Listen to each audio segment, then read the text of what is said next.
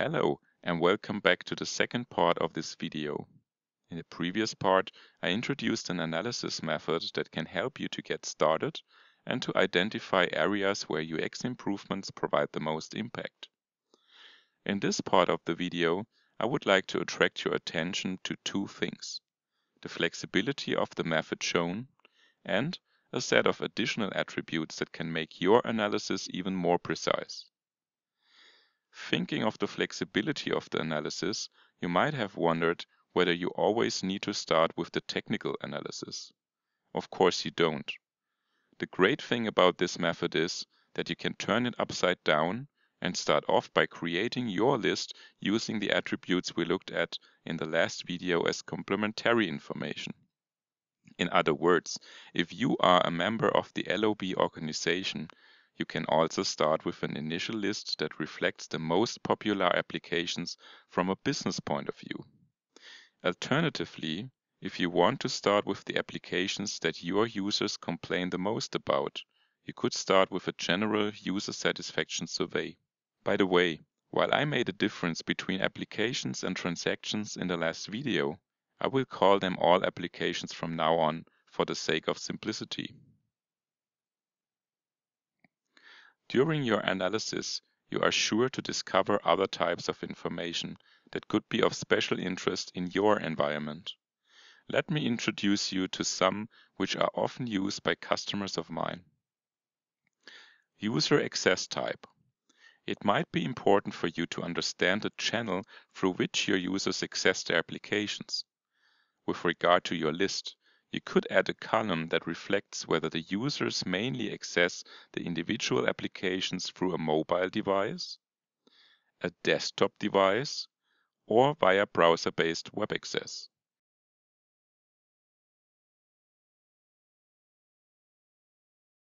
You could also think of three columns if you have cases where multiple access channels have to be supported.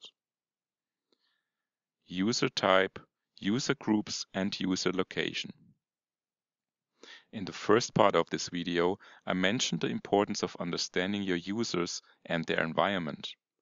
In addition to your observations and surveys, try to gather structured information about who your users are and where they are located.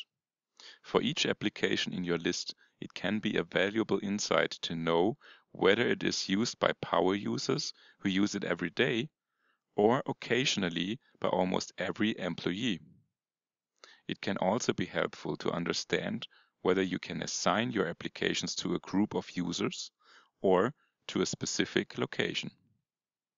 This is especially of interest when defining your roadmap later on. Strategically, it is always a good approach to start with a specific group of users. For instance, users in the same location or with a common set of applications. Costs. We haven't talked about costs in this video, but this is an important factor as you can imagine. Wouldn't it be good to have an idea of the related operating costs for the individual applications? Or maybe the amount of related support activities over the last few months? Remember, a good user interface and user experience has high impact to the data quality.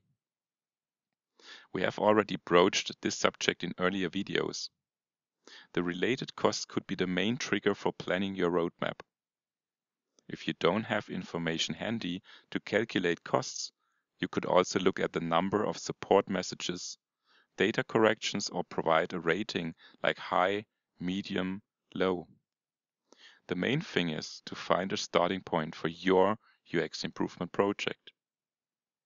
Now it is up to you. Start your own analysis and identify the most promising areas for improvement for you and your company. I hope you enjoyed this video.